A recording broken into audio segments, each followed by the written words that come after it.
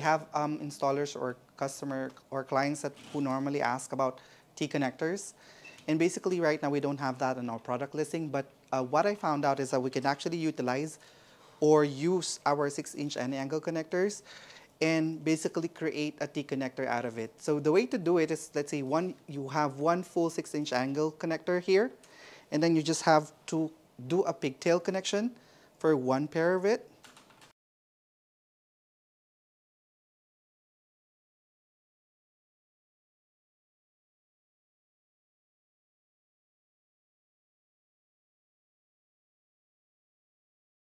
Now, in order for us to mitigate or use it as a possible uh, replacement for a T-connector, all you just have to do is bare or splice the wires here.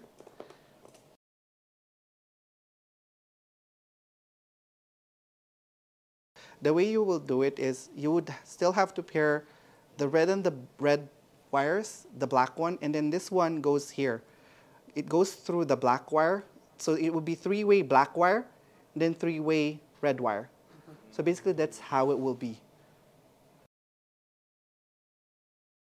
The um, installer would just have to like cover it using uh, either a shrink tape or, or, an electrical tape then to avoid any interactions or basically um, the wires uh, going through each, other, with each other and then creating a short circuit. And we already have a T connector. So there. Ta-da!